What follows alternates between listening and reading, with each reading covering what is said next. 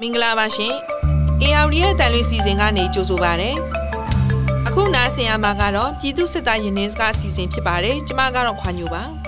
ပြည်သူစစ်သားရင်နှင်းစကားအစီအစဉ်ဟာအာဏာသိမ်းပြီးနောက်ပိုင်းစစ်တပ်ကိုဆုံးပါပြီးပြည်သူ့ဘက်ပူးပေါင်းလာတဲ့စီဒီအန်စစ်သားတွေကိုယ်တိုင်ကြုံတွေ့ခဲ့ရတဲ့တပ်တွင်းကကြီးနိုင်ငံချင်းဖြစ်ပျက်တွေခေါင်းပုံဖြတ်အမျက်ထုတ်မှုတွေအကျင့်ပြတ်ခြားစားမှုတွေအကြောင်းကိုပြန်ပြောပြတဲ့အစီအစဉ်ဖြစ်ပါတယ်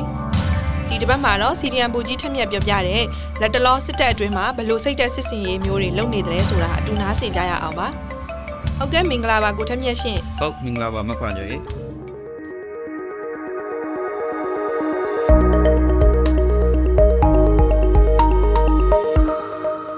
ဟုတ်ကဲ့ပါကိုထက်မြက်ရေအာဒီတပတ်မှာတော့ဗောနော်ဟိုအာနာသိန်းစစ်တပ်ရဲ့ဒီဝါရဖြတ်မှုနဲ့စိတ်တက်စစ်စင်ရေးတွေအကြောင်းတစ်စိတ်တစ်စောင်းဗောနော်ဒီမကြသေးခင်အာမြမနှစ်တစ်ကူတကြံကာလတုန်းကဗောလေဒါစစ်ကောင်စီဘက်ကနေပြီးတော့အာသူတို့ဖြစ်စေခြင်းနဲ့ဗောနော်ဒီပုံရိပ်တွေရအောင်ဖန်တီးပြီးတော့လူတွေမြင်အောင်ဖြန့်ဝေခဲ့တယ်ဒီအပေါ်မှာလဲဒါအတော်လေးပွဲဆူသွားခဲ့တယ်ဗောနော်ဆိုတော့ဒါဟာစစ်ကောင်စီရဲ့အဲစိတ်တက်စစ်စင်ရေးတစ်မျိုးပဲလို့ကျမကတော့ယူဆတယ်ကိုထက်မြက်ကဘယ်လိုထင်လဲရှင်အဲဟုတ်ပါတယ်မခွန်ကြွေ ဒါအချမ်းဖတ်စစ်တပ်ရဲ့ဒါဝါရဖြတ်မှုစိတ်တဲ့စစ်စင်မှုတွေအကြောင်းကျွန်တော်တို့ဒီဘက်ပြောကြမယ်ပေါ့နော်မခွန်ကြွေပြောသလိုပဲပေါ့နော်ဒီတကြံကိစ္စအပါဝင်အခုရက်ပိုင်းမှာဒီချမ်းဖတ်စစ်တပ်ရဲ့လှုပ်ရက်တွေဒီလိုအကြောင်းတွေ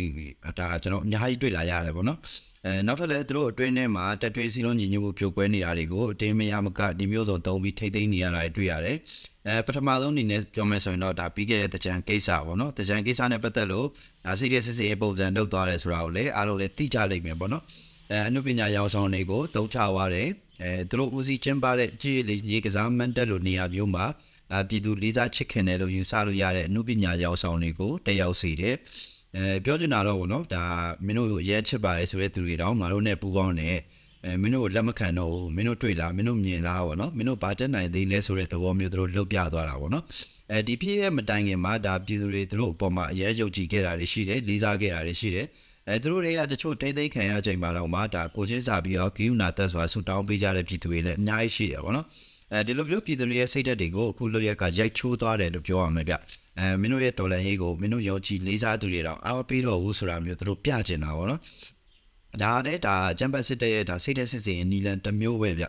အဲတော်လိုင်းမှာပါဝင်နေတဲ့သူတွေပေါ့နော်ဒါအားပေးထောက်ခံနေတဲ့သူတွေကိုစိတ်တဲ့ကြဆင်းအောင်စိတ်ခံစားချက်မှုတွေစိတ်ခံစားမှုတွေဖြစ်ပေါ်အောင်ပေါ့နော်ဒါသူတို့လောက်တာတစ်မျိုးပဲပေါ့နော်နောက်တစ်ခုကတော့ဒါတကြံဆိုရင်ဒါမစီကားစီကားနီးမျိုးစုံနဲ့လုပ်ပြတယ်အဲတပတ်တော့လည်းအေးအဖွဲ့တွေနဲ့ဒေါ်လန်ပြည်သူတွေစိတ်တဲ့ကြဆင်းအောင်ဒီမျိုးစုံနဲ့လှုပ်ဆောင်တယ် အဲဒါတွေကိုကျွန်တော်အဖွဲ့တွေတေချာလေးသိရှိသဘောပေါက်ဖို့လိုတယ်ပေါ့နော်အဲစီကားတယ်ဆိုရင်တော့မှသူတို့ဖြစ်စေခြင်းနဲ့စိတ်ကြောင်းဝင်ပြီးကျွန်တော်ဖြစ်စရာမလိုဘူးဗျဘာလို့လဲဆိုတော့အဲသူတို့တွေကနီးမျိုးစုံနဲ့မစီစီအောင်လူမများများအောင်လှုပ်ကြတာမို့ပေါ့နော် အဲလူမရှိတဲ့နေရာလူမစီတဲ့နေရာတွေကိုဖုံးကွယ်ပြီးတော့သူတို့အတင်းကျပ်လူစီအောင်လှုပ်ထားတဲ့နေရာမျိုးတွေကိုပဲရွေးပြီးတော့မှတ်တဲ့တင်နဲ့ပေါ်ပြတယ်အဲအဲ့လိုလုံနိုင်ဖို့အတွက်လည်းသူတို့နောက်ွယ်မှာမဖြစ်မနေဖိအားပေးလှုပ်ဆောင်ခိုင်းရတာတွေအများကြီးရှိတယ်ပေါ့နော်အဲမကကျင်တဲ့အတင်းအားလုံးမှာကာခိုင်းတယ်မဆိုကျင်လည်းဆိုရတယ်မန်တက်ကိုမလာကျင်လည်းလာရတယ်ပေါ့နော်အဲပြီးပြန်ကျင်တဲ့အချိန်ဆိုလည်းသူတို့ပြန်ဝင်မရအောင်အဲဒီလိုပုံစံမျိုးတွေနဲ့လှုပ်ဆောင်နေတာဒါအခုမှတော့မဟုတ်ဘူးပေါ့နော်အဲဒါကြောင့်ဒီတကယ်နားလေတဲ့သူတွေအနေနဲ့ကတော့သူတို့လှုပ်ဆောင်နေတဲ့ တကြံဆိုတဲ့အရာကြီးကဘလောက်ပဲစီစီဒါဟန်ပြတက်တက်နဲ့စိတ်တဲ့စစ်စီလုပ်တယ်ဆိုတာပဲဒါအားလုံးတော့ဒီလိုပဲပြောရမှာပါခင်ဗျဟုတ်ဟုတ်ကဲ့ကိုထမ်းမြတ်ရေဒီဟိုစိတ်သက်စစ်စင်ရေးစိုက်ဝါပေါ့နော်ဒီစကလုံးကဒါစစ်အာဏာသိမ်းပြီးတဲ့နောက်ပိုင်းမှာလူမှုကွန်ရက်မှာပေါ့လေဒါတွင်တွင်ကြဲကြဲလေးပြောဆိုသုံးနှုံးလာကြတယ်ပေါ့ဆိုတော့ဒီစိတ်သက်စစ်စင်ရေးလုပ်ဖို့အတွက်ကိုပေါ့လေဘာတွေလိုအပ်လဲကိုထမ်းမြတ်အတွေ့အကြုံတွေမျှဝေပေးပါဦးအဲဟုတ်ကဲ့ပါပါပါလေ အဲစိတ်သက်စစ်စင်ရေးအတွက်ပေါ့နော်လိုအပ်တာတွေကတော့အများကြီးရှိတယ်အဲဒီနေရာမှာတော့ကျွန်တော်တို့အချိန်ကန့်သက်ရှိတာရဲ့အကြောင်းမလို့ကျွန်တော်တူကျုပ်သဘောမျိုးကျွန်တော်တို့ပြောပြောသွားမယ်ပေါ့နော်အဲပထမဆုံးတော့ဒါစိတ်တဲ့စစ်စင်လုပ်ဖို့အတွက်ကျွန်တော်တို့ပြစ်မှတ်မျိုးစားတွေခွဲခြားသတ်မှတ်ရမယ်ဥပမာရန်သူမိမိကြားနေဒါမှမဟုတ်ပြီးသူပေါ့နော်အဲဒီလိုတေချာခွဲခြားပြီးရွေးချယ်တတ်ဖို့ကအရင်အရေးကြီးတယ်အဲနောက်ပထမချက်ကတော့ဒါကိုယ်အဖွဲ့အစည်းအကြောင်းကိုကောင်းစွာသိရှိရမယ် အဲကိုယ်စိတ်သက်စစ်စင်လုပ်မယ်ဒါပြစ်မှတ်အကြောင်းကိုကောင်းစွာသိရှိရမယ်နောက်ချက်ကတော့တရေချက်လက်ရည်စုကောင်းစုဆောင်းနိုင်မှုအားကောင်းရမယ်အဲနောက်ချက်ကလူသဘောတဘာဝကိုကောင်းစွာသိရှိရမယ်အဲဘုဒ္ဓတကြွယ်ဝရမယ်ဆွဲဆောင်မှုရှိအောင်စိတ်ဝင်စားမှုရှိအောင်ဖန်တီးနိုင်ရမယ်အဲစာတွေ့လက်တွေ့တွေ့ကြုံများများရှိရမယ်ပေါ့နော်အဲပြီးရင်ဘာသာစကားရိုးရာဓလေ့နောက်ခံသမိုင်းအစဉ်လာယုံကြည်မှုတွေနဲ့ပတ်သက်ပြီးတော့ကောင်းစွာသိထားရမယ် အဲလုပ်ငန်းအစီအစဉ်နဲ့မြင်တာကိုတိုးချုပ်ပြောရမယ်ဆိုရင်ဒါပထမဆုံးကျွန်တော်ဖြစ်မဲ့အုပ်စုရွေးချယ်ရမယ်ပြီးရင်ဖြစ်မဲ့နဲ့ကိုင့်တည်တဲ့အကြောင်းအရာတွေဖြစ်ရမယ်အဲဖြစ်မဲ့အတွင်းလက်တလောဖြစ်ပေါ်နေတဲ့လိုရင်းတွေကိုကျွန်တော်စုံစမ်းပြီးတော့လှုပ်ဆောင်နိုင်ရမယ်အပြစ်မဲ့အတွင်းမှာဖြစ်ပေါ်နေတဲ့စိတ်လှုပ်ရှားမှုကိုစုံစမ်းပြီးလှုပ်ဆောင်ရတာရှိမယ်။အပြစ်မဲ့အတွင်းမှာဒါမျိုးသိထားရတဲ့ခံစားချက်နာကြီးချက်တွေကိုစုံစမ်းပြီးတော့ကျွန်တော်လှုပ်ဆောင်ရတာရှိမယ်။အပြစ်မဲ့ရဲ့ဒါသဘောတရားဝါနဲ့ကိုက်ညီတဲ့အကြောင်းအရာတွေအသုံးအနှုန်းတွေ ဩဝါဒတွေနဲ့ဒါဇလန်းဇက်ကွက်တွေကစဖန်တီးရွေးချယ်ပြီးကျွန်တော်လှုပ်ဆောင်တတ်ရမယ်ပေါ့နော်။စိတ်သက်စစ်တွေစစ်စစ်ရေးရပါတော့ဒါအခြေအနေပေါ်မူတည်ပြီးတော့အများကြီးလှုပ်ဆောင်လို့ရတယ်။စာကြောင်းတစ်ကြောင်းစာပိုက်တစ်ပိုက်တပ်ပုံတစ်ပုံနဲ့ဒါဘာကုန်ကြမှုမှမရှိဘဲနဲ့အချိန်တိုတွင်းထိရောက်အောင်လှုပ်ဆောင်နိုင်တဲ့စိတ်သက်စစ်တွေရှိသလို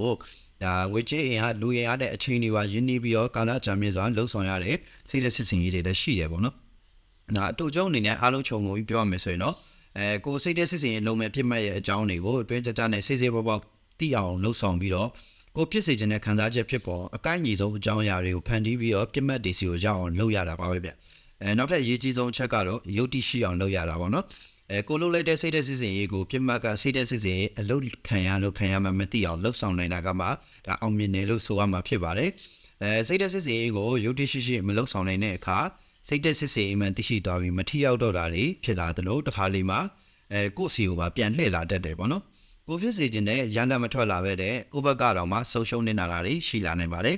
အဲဒီချက်ကိုမြင်တော့ဥပမာတစ်ခုအနေနဲ့ကျွန်တော်ပြောရမယ်ဆိုရင်ပေါ့နော်စစ်ကောင်စီဘက်ကစစ်သားတွေပကူးပြောင်းလာမှုပုံများပြားလာအောင်ဆိုပြီးတော့ဒါစိတ်သက်စစ်စင်လှုပ်ချင်တဲ့အကြောင်းကိုအဖွဲ့တစ်ခုကနေကျွန်တော်စီကိုပြောပြလာတာရှိတယ်ပေါ့နော်အဲသူရေးထားတဲ့ဒီသူလှုပ်ချင်တဲ့စာကိုလည်းပြရတယ်ပေါ့နော် အဲပထမဆုံးစာကြောင်းမှာနေမယ်ဒါအစင်မပြေတော့ဆိုတာကျွန်တော်သိလိုက်တယ်ဘာလို့လဲဆိုတော့သူစရေးထားတာဒါစစ်ခွေးဆိုတာနဲ့စထားတယ်ပေါ့နော်အဲရည်ရွယ်ချက်ကဒီစစ်သားတွေပကူးပြောင်းလာစေချင်တဲ့ရည်ရွယ်ချက်ပေါ့နော်အဲဒါကြောင့်မလို့စီယုံသိမ်းသွင်းရမှာဖြစ်တယ်အဲဒါပေမဲ့အဲ့ဒီစစ်သားတွေကသူရေးထားတဲ့ပထမစာကြောင်းမှာလည်းစိတ်ဝင်စားတော့မှာမဟုတ်ဘူးပေါ့နော်။ဘာလို့လဲဆိုတော့သူတို့စစ်ခွေးလို့ခေါ်တာပါတော့ဒီစာကိုလည်းသူတို့စောင်းအောင်ဖတ်မယ်တော့မထင်ဘူးပေါ့နော်။အဲစိတ်ဆိုပြီးတော့ကြောက်ခွတ်သွားလိမ့်မယ်။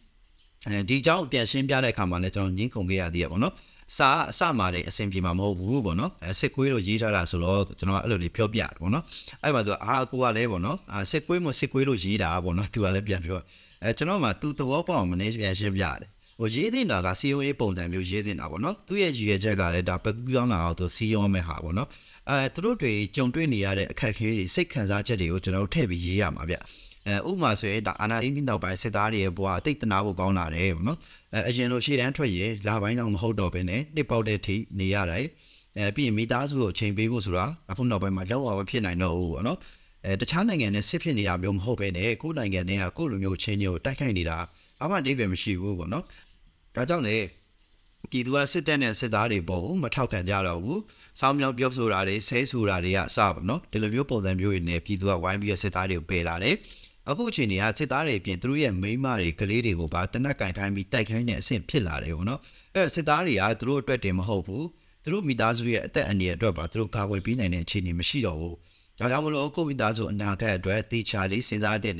အချိန်ကိုမခံဘဲနဲ့လှုပ်တင်တာကိုအမြန်ဆုံးလှုပ်ဆောင်ကြစေချင်တယ်စသဖြင့်ရေးသားတဲ့ပုံစံကမှဒါစောစောကတို့စစ်ခွေးလိုရေးတာထက်ပိုပြီးတော့ထိရောက်နိုင်နေပေါ့အဲတကယ်တမ်းကြာကျွန်တော်တို့တွေကဒါစစ်ကောင်စီလိုလိမ့်လေလှည့်ပြားပြီးဝါဒဖြန့်စရာတော့မလိုဘူးပေါ့နော်အဲသူတို့ကိုစိတ်သက်စင်လုပ်ဖို့ဆိုရင်သူတို့ဝါဒဖြန့်မှုတွေကိုအမှန်တိုင်းသိရှိနားလည်အောင်လှုပ်ဆောင်တာပဲဒါဒါတကယ်လက်တွေ့ကြတဲ့လှုပ်ဆောင်မှုပဲဖြစ်ပါတယ်ဗျဟုတ် ဟုတ်ပါတယ်ကိုထက်မြက်ရေအခုနောက်ပိုင်းပေါ့နော်ဒီနိုင်ငံတော်ဝန်စစ်မျက်နှာဖွင့်ထားရတဲ့ဒီအာဏာသိမ်းစစ်တပ်အတွင်းမှာပေါ့လေဒီစစ်ပန်းမှုဒဏ်တွေတက်တွင်းဖိနှိပ်မှုဒဏ်တွေကြောင့်ပေါ့လေစီးလုံးမှုပြိုကွဲနေတဲ့အခြေအနေတွေကိုဒါစစ်ကောင်းဆောင်မင်းအောင်လှိုင်နဲ့သူ့ရဲ့နောက်လိုက်ဒီစိုးဝင်းတို့ကပေါ့နော်သူတို့ရဲ့မိကုန်းတွေမှာဒါစီးလုံးညီညွတ်ရေးနဲ့ပတ်သက်ပြီးတော့အထူးတလဲထဲသွင်းပြောကြားနေတာကိုဒါတွေ့ရတယ်ပေါ့နော်ဟိုဒါကတော့ဟိုသူတို့ရဲ့ဒီဝါဒဖြန့်သတင်းတွေမှာဖော်ပြနေတာဆိုတော့ဟိုကျမတို့အတွက်သိတာမြင်တာတဲ့အခြေအနေတစ်ခုပေါ့လေအဲဆိုတော့ဟိုကိုထက်မြတ်တို့အနေနဲ့ ကြတော့ပေါ့နော်ဒီဟိုတက်တွင်းရရရှိတဲ့ဒီသတင်းတွေအရပေါ့လေလက်တလောစစ်တပ်အတွင်းမှာဘလို့စိတ်တက်စစ်စင်ရေးမျိုးတွေလုပ်နေတယ်လို့သိထားရလဲရှင်အဲဟုတ်ကဲ့ပါခွန်ကြီးအခုတလောပေါ့နော်ဒါကြားရတာတွေကတော့တက်တင်းစီလုံးညညရေးပုံပုံပြပြလာနေပေါ့နော်ဒါခုနမခွန်ကြီးပြောခဲ့တဲ့အတိုင်းပဲပေါ့နော်အဲဒီလိုဖြစ်နေတဲ့အခြေအနေတွေကိုသူတို့ရဲ့အကြီးပိုင်းတွေကမင်းထိမ့်သိမ့်နေရတာတွေရှိတယ်အဲမခွန်ကြီးပြောသားသလိုပဲဒါစစ်ကောင်းဆောင်တွေကအောက်ခြေဒေသတွေအောက်ခြေတရင်တွေထိဆင်းပြီးတော့စီယုံရေးလုပ်နေရတာတွေကျွန်တော်ပို့တွေ့ရတယ် အဲနောက်တစ်ခုထူးခြားတာကတော့ဒါတလန်းတလားလောက်ပဲရှိအောင်ပဲဗျအဲတော်တော်လေးကိုစနစ်တကျနဲ့သူတို့တွေ PPCC လောက်လာတာရှိတယ်အဲအဲ့ဒါဘာလဲဆိုတော့ဒါဆွန့်လွတ်ဆွန့်စားပြစ်ချစ်သားဆိုတဲ့ဒါ application ပေါ့နော်အဲအဲ့ဒါတစ်ခုသူတို့ထုတ်ထားတယ်အဲ့ဒါကိုလေသူတို့တက်တိုင်းမှာရှိတဲ့အရာရှိစစ်တီရင်းမေတွေရဲ့ဖုန်းတိုင်းမှာထည့်သွင်းခိုင်းတယ်အဲအဲ့ဒီမှာတင်သမျှကိုဖတ်ခိုင်းတယ်ကြည်ခိုင်းတယ်ပြင်သိရှိကြောင်းဖတ်ကြောင်းကိုဒါအရာရှိတယောက်တီးတန့်ထားပြီးတော့စီစစ်တာတွေစစ်ဆေးတာတွေအပြင်ပေါ့နော် ဒါအစီရင်ခံတင်ပြတာမျိုးတွေမဖြစ်မနေလုပ်ခိုင်းနေတယ်ဗျအဲသူတို့ပြောတဲ့အတိုင်းမလုပ်တဲ့သူမချိတဲ့သူဆိုရင်ရုံးတင်တာတွေအပြစ်ပေးအရေးယူတာတွေကိုသူတို့လှုပ်ဆောင်ခံရတယ်အဲ့မှာတင်တဲ့အကြောင်းအရာတွေကတော့ဒါလက်တလောဖြစ်နေတဲ့သတင်းတွေတိုက်ပွဲတွေဒီဝါရဖြန့်အကြောင်းအရာတွေကိုဒါနေ့စဉ်တင်နေပေါ့နော်အဓိကတော့ဖြစ်စဉ်တစ်ခုဖြစ်တယ်ဆိုရင်အပြင်မှာဖြစ်တဲ့တကယ်အမှန်တရားတွေကိုဖုံးကွယ်ပြီးတော့သူတို့ဝါရဖြန့်ဖို့စ조사နေတယ်ပေါ့နော်အဲဒီသတင်းကမြေပြင်မှာအမှန်မဟုတ်ဘူး တကယ်မြေပြင်မှာကဘယ်လိုဖြစ်တယ်စသဖြင့်ပေါ့နော်ဒါစတဲ့သတင်းအမှားသတင်းအမှန်ပုံစံမျိုးတွေသူတို့ရေးသားပြထားတယ်အဲသတင်းအမှားထုတ်လွှင့်တဲ့သတင်းမီဒီယာတွေကဘယ်မီဒီယာတွေပါဆိုပြီးတော့သူကခွဲခြားဖော်ပြထားတာတွေရှိတယ်အဲအဓိကတော့သူ့တက်မှာရှိတဲ့စစ်သားတွေမိသားစုတွေကိုအပြင်ကအကြောင်းအရာအမှန်တွေတိမှာဆိုလို့အခုလိုမျိုးဒါနောက်ပတ်တစ်ခုဒါတီးတန့်တိဆောက်ပြီးတော့ဝါရဖြန့်တိမ့်သွင်းနေရတယ်ဘောနော်အပင်မန်းခံပြီးကိုတို့လှုပ်ဆောင်နေကြတယ် အဲဒါပြင်တို့အတွင်းမှာဒါတီးတန့်ထားတဲ့ဒါ Fiverr လို့ပြီးရင် Telegram လို့ဒါ group တွေကိုလည်းအဲတိုင်းတက်မှတွေ like တရင်တက်ဖွဲ့တွေ like လှုပ်ထားကြတယ်ဖွဲ့ထားကြတယ်ဘောနော်အဲ့လို group တွေထဲမှာလည်းဒါတင်သမျှအကြောင်းအရာတွေကိုရှေ့ရတိုင်းပဲဖတ်ပြီးတော့အဲသိရှိကြောင်းနေတင်ပြအစီရင်ခံပေးရတဲ့အရာရှိတွေကစီစဉ်ကြရတယ်ဘောနော်အဲသူတို့ပြောသလိုမလုပ်ဘူးဆိုရင်လည်းထုံးစံတိုင်းခုနလိုပဲအရေးယူတာတွေအပြစ်ပေးတာတွေရုံးတင်တာတွေလှုပ်ဆောင်သေးရပါတော့ အခုချိန်ကြီးအထက်မှာရှိနေသေးတဲ့စစ်သားမိသားစုတွေကနေ့စဉ်နဲ့မျှအကြောင်းအရာပေါင်းစုံနဲ့ဖိနှိပ်ခံနေရတယ်အဲတာမန်လူတယောက်ဒါရတဲ့အခွင့်အရေးမျိုးဘယ်တော့မှမရှိဘဲနဲ့အမြဲတမ်းထိတ်ချုပ်ခံနေရတယ်ပေါ့နော်အဲနောက်တစ်ခုကတော့အပြင်မှာတကယ်ဖြစ်ပျက်နေတဲ့အကြောင်းအရာတွေကိုအတွင်းမှာလိမ်လည်ပြီးတော့ဝါရဖြတ်တဲ့ဟာတစ်ခုရှိတယ်ပေါ့နော်အဲ့ဒီအကြောင်းအရာတွေထဲမှာဒါလက်တလောဖြစ်ပျက်နေတဲ့ဝါရဖြတ်မှုတစ်ခု ကိုလည်းဒါတက်တွင်း PhD စီကနေကျွန်တော်သိခဲ့ရတယ်ပေါ့နော်အဲအဲ့ဒါတော့ကျွန်တော်စီမှာဒါပြည်သူစစ်သားစတင်များဆိုတဲ့ဒါ page နဲ့ကျွန်တော် project တစ်ခုအကောင့်တွေဖော်နေတာရှိတယ်ပေါ့နော်အဲ့ဒါကတော့ဒါပြည်သူဘက်ရက်တည်လာတဲ့စစ်သားမိသားစုတွေကိုပြန်လည်ထတော်ရေးလုပ်ပေးတဲ့အစီအစဉ်တစ်ခုပေါ့နော်အလုပ်ဖြစ်တဲ့ရည်ရွယ်ချက်ကလည်းတခြားမဟုတ်ဘူးကျွန်တော်ပြည်သူဘက်ရက်တည်လာတဲ့စစ်သားမိသားစုတွေကိုအထိုက်လျောက်အဆင်ပြေစေခြင်းတဲ့အတွက်စလုပ်ဖြစ်တာပေါ့နော်စလုပ်တော့ကတော့ဒါအများကြီးတို့ပဲပေါ့နော်တစ်လောက်9000တသိန်းကျွန်တော်ထောက်ပံ့ပေးတာနေစခဲ့တယ်ပေါ့နော် အချိန်ကြာလာတဲ့ညအခုလိုထောက်ပံ့ပေးတာအဖြေတစ်ခုမဟုတ်ဘူးဆိုတာကျွန်တော်ပိုသိလာတယ်ဘာလို့လဲဆိုတော့ဒီ9000တသိန်းဆိုတာသူတို့မိသားစုတွေအဆင်ပြေစေဖို့ဘလို့မှမဖြစ်နိုင်တဲ့ပမာဏပေါ့နော်။ဒါကြောင့်မလို့အဲ့ထက်ပိုထိအောင်မဲ့အစီအစဉ်တစ်ခုကိုကျွန်တော်တေချာစဉ်းစားဆုံးဖြတ်ပြီးတော့အကောင့်တွေဖော်ပြကြတယ်။အဲ့ဒါကတော့ခုနကျွန်တော်ပြောတဲ့ပြန်လဲထူထောင်ရေးအစီအစဉ်ပေါ့နော်။အဲအရေးတော့9000တသိန်းမျိုးမဟုတ်ဘဲနဲ့ဒီမိသားစုတွေစိတ်ဝင်စားနဲ့လှုပ်ဆောင်နိုင်လောက်မဲ့ဒါအသေးစားစီးပွားရေးလုပ်ငန်းလေးတွေကိုသူတို့နဲ့တေချာတိုင်ပင်ပြီးတော့ ကုန်ကြငွေကိုတက်နိုင်တော့ကျွန်တော်မတီးပေးတာပေါ့နော်။ဥပမာသပင်းညက်ဆိုင်ဖွဲ့တာမျိုးတွေအဝိချေရောင်းတာမျိုးတွေစပီးလောက်တာတွေမွေးမြူလောက်တာတွေပေါ့နော်အဲဒါတွေကိုအကောင့်တွေဖော်ပေးကြတဲ့အခါတကယ်တည်းထိရောက်တယ်အဲမိသားစုတွေဟာကိုပိုင်စီးပွားရေးလုပ်ငန်းတွေပိုင်ဆိုင်လာတယ်အဲကိုလုပ်ရင်လောက်တလောက်တိုးဝါနိုင်တဲ့အခွင့်အရေးတွေရှိလာတယ်မိသားစုနဲ့အတူဘဝကိုအကောင်းဆုံးရှင်သန်ရည်တည်သွားနိုင်မယ်ပေါ့နော်အဲကျွန်တော်တို့အတွက်လည်းဒါပီတိဖြစ်ရတယ်အဲတချို့မိသားစုတွေကအပြည့်ရောက်လာတဲ့အခါအတော်လေးကိုအစွမ်းအစားရှိတဲ့သူတွေလည်းတွေ့ရတယ် အဲအခုဆိုရင်တို့တွေကကောင်းကောင်းရောက်ကောင်းဝင်လှုပ်ရှားရင်းနဲ့ပေါ့နော်ရွှေတဲလဲငွေတဲလဲဖြစ်ပြီးတော့ဆွဆွဆောင်းဒီမိသားစုကိုကောင်းကောင်းမထားနိုင်တဲ့အဖွဲ့တောင်ရှိနေရပေါ့နော်အဲဒီလိုမျိုးပြည်သူပဲကူပြောင်းလာတဲ့စစ်သားမိသားစုတွေကိုအခုလိုအဆင်ပြေအောင်လှုပ်ဆောင်ပေးနိုင်တာဟာအထဲကအဖွဲ့တွေစီဒီသတင်းစကားရောက်သွားတယ်ပေါ့နော်တချို့တွေအချင်းချင်းပေါ့နော်ဒါအဆက်အသွယ်ရတဲ့ချိန်မှာအဲကျမတို့တွေလည်းအဲ့လိုတွေလှုပ်ပေးနိုင်တယ်ဆိုရင်ထွက်လာခြင်းလိုက်တာဆိုတာမျိုးကိုဒါပြောဆိုနေကြတယ်ကျွန်တော်ကြားရတယ် ဒါတစ်ချက်ခုတ်ယုံနဲ့ဒါ၃လေးချက်လောက်ပြတ်မဲ့ထိရောက်တဲ့စိတ်တဲ့စစ်စီဖြစ်သွားတယ်ပေါ့နော်လက်တွေ့ကြတဲ့နီလန်လည်းဖြစ်တယ်ဘက်ကူပြောင်းလာတဲ့သူတွေများလာနိုင်မယ်ဒီလိုတွေများလာတဲ့ရွေးစစ်တပ်တွင်းကအင်အားတွေချိနေလာမယ်အဲဒီအဖွဲ့အစည်းကိုရင်ဆိုင်နေရတာဖြစ်တဲ့အတွက်ဒီအဖွဲ့အစည်းရဲ့အကြောင်းကိုကျွန်တော်တို့ပို့ပြီးသိဖို့လိုတယ်အဲဒီလိုသိဖို့အတွက်ဒါဘက်ကူပြောင်းလာသူတွေကိုကျွန်တော်တို့အကောင်းဆုံးအသုံးပြုနိုင်လို့အသုံးပြုလို့ရမယ်ပေါ့နော်လူသားချင်းချင်းကူညီပေးနိုင်တဲ့အတွက်လည်းကျွန်တော်အနေနဲ့ရန်ကုသိုလ်ရတယ် တကယ်စိတ်သက်ကောင်းတဲ့သူတွေခံယူချက်ကောင်းတဲ့သူတွေဖြစ်ဖို့အတွက်တော့ကျွန်တော်တို့တေချာလေးစူးစမ်းစီစစ်ရတာပေါ့နော်အဲအဲ့လိုလုပ်နိုင်ခဲ့တာဟာတော်တော်လေးထိရောက်ခဲ့တယ်အဲတက်တက်တက်မှာဆိုရင်ပေါ့နော်ဒါစစ်တီမီသားစုတွေကိုအကုန်စုဝေးပြီးတော့ projector နဲ့တေချာထိုးပြပြီးတော့ဝါဒဖြန့်စီးရုံးနေရတယ်ပေါ့နော်သူတို့ထိုးပြတဲ့ထဲမှာကျွန်တော်တို့အခုပြည်သူစစ်သားစည်းများဆိုတဲ့ page ပါတယ်ပေါ့နော်အဲ့ဒီထဲမှာပြန်လဲတော်တော်ကြီးလုပ်ပေးနိုင်ခဲ့တဲ့သတင်းတပ်ပုံတွေကိုတေချာထိုးပြတယ်အဲဒါတွေကလိမ့်နေတာဖြစ်ကြောင်းပေါ့နော် အခုလိုလုပ်ပေးတယ်ဆိုတာလုံးဝမဟုတ်ကြောင်းပြီးရင်စစ်တီမိသားစုတွေအနေနဲ့ယုံကြည်ပြီးစွန့်ခွာတာမျိုးမလုပ်သင့်ကြောင်းပေါ့နော်ဒီလိုလုပ်ပြဖို့ဒါမှတ်တမ်းယူပြီးတက်ပစ်တာဖြစ်ကြောင်းစတဲ့လိမ်လည်မှုပြောင်းများစွာတွေကိုပြောဆိုပြီးတော့သူတို့တွေဝါဒဖြန့်တာစိတ်သက်စစ်စီလုပ်နေရတဲ့အထိကျွန်တော်တို့ထီထီရောက်လုပ်နိုင်ခဲ့တယ်ပေါ့နော် ဟုတ်ကဲ့အမ်ကိုထက်မြက်ပြောတာနားထောင်ရတော့ဗောနော်ဒီအခုကိုထက်မြက်တို့စီဒီအန်စစ်သားတွေလုပ်နေတဲ့ဒီပြန်လည်ထူထောင်ရေးလုပ်ငန်းကဒါတက်တွင်းပြိုကွဲမှုတွေကိုမနှဲထိန်နေရတဲ့အာနာသိန်းစစ်တပ်အတွက်ထိရောက်တဲ့စိတ်သက်စစ်စင်ရေးတစ်ခုဖြစ်သွားတယ်ဗောနော်အဲဟုတ်ပါတယ်မဖန်ကြီးဒီလိုပြောရမှာဗောနော်အဲဒါထိရောက်လားဆိုတော့တိတ်ထိရောက်တယ်လို့ပြောရမယ်ဗျအဲအထဲမှာရှိနေတဲ့သူတွေထဲမှာပေါ့နော်လုံးဝကိုသူတို့လက်အောက်မှာမနေလို့တော့တဲ့စစ်သားမိသားစုတွေအများကြီးရှိတယ်ဗျအဲဘာလို့လဲဆိုတော့ ပြည်သူ့ဘက်ကူးပြောင်းလာဖို့နီလန်တို့ဆောင်နဲ့ကျွန်တော်တို့တွေရှေ့မှာအများကြီးစူးစမ်းခဲ့မှုတယ်ဥပမာတိုက်တွန်းနှိုးဆော်တာတွေအသိပညာပွင့်လင်းအောင်လှုပ်ဆောင်တာတွေစကားဝိုင်းတွေစသဖြင့်ပေါ့နော်အဲဘယ်လိုပဲစူးစမ်းပါသေးသူတို့ထဲသွဲရမယ့်အကြောင်းအရာတွေကအများကြီးရှိတယ်ဆိုတာကျွန်တော်လက်ခံရမယ်ပေါ့နော်ထွက်လာပြီးတဲ့အချိန်မှာရှင်းတန်ရက်တီရေးကအရင်ရေးချီးတယ်အဲဆိုကြပါစို့အဲကျွန်တော်တို့တွေထွက်လာတဲ့အချိန်မှာအထက်ကလူတွေနဲ့အဆက်အသွယ်ရတယ်ပေါ့နော်အခြေအနေဘယ်လိုရှိလဲမေးတဲ့အခါ ကျွန်တော်တို့ကိုယ်တိုင်ကအဆင်မပြေဘူးဒုက္ခရောက်နေတယ်ဆိုရင်အထက်ကအဖွဲ့တွေကဘလောက်ပဲထွက်ချင်တဲ့စိတ်ရှိပါစေပေါ့နော်ဒါပေမဲ့မထွက်လာဖြစ်တော့ဘူးဘာလို့လဲသူတို့ထွက်လာတဲ့အချိန်မှာသူတို့ခက်ခဲမှာကိုသူတို့နားလေသူတို့သိတယ်ပေါ့နော်ရင်မဆိုင်ရဲဘူးဆိုရင်ဘယ်တော့မှထွက်လာမှာမဟုတ်ဘူးအဲဒီလောက်တော့ခက်ခဲမှာပါပေါ်လို့ပြောလို့ရပါမယ်အဆင်ပြေအောင်လုပ်ပေးနိုင်တယ်ဆိုရင်တော့အကောင်းဆုံးပေါ့နော်အဲနောက်တစ်ခုကတော့ဒါ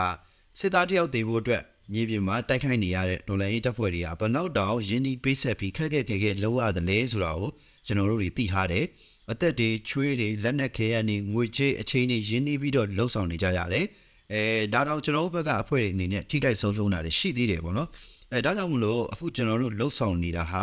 အဲကျွန်တော်အနေနဲ့တော့ဒါတွန်လည်ရဲ့အတွက်တကယ်အရေးပါတဲ့အလုပ်တစ်ခုကိုလုပ်ပေးနိုင်တယ်ဆိုပြီးတော့ကျွန်တော်ကြည်နှမ်းမိတယ်ပြီးတော့ဒီပြန်လည်ထူထောင်ရေးလုပ်ငန်းကသူတို့အကြောက်ဆုံးဆိုတဲ့ထဲကအရာတစ်ခုကိုကျွန်တော်တို့ရှာဖွေတွေ့ရှိထားတယ်လို့ပြောလို့ရတယ်ဗျအဲဒါဥသာတေချာလေးကျွန်တော်တို့လုပ်နိုင်မယ်ဆိုရင်ဒါအတက်ကိုအများကြီး software လာမဲ့သူတွေရှိလာလိမ့်မယ် ဒါကြောင့်ဒီအရာကိုပဲပုံမူကျေပြတ်အောင်လှုပ်ဆောင်သွားဖို့ကျွန်တော်တို့ကြိုးစားမှာပါဗျဟုတ်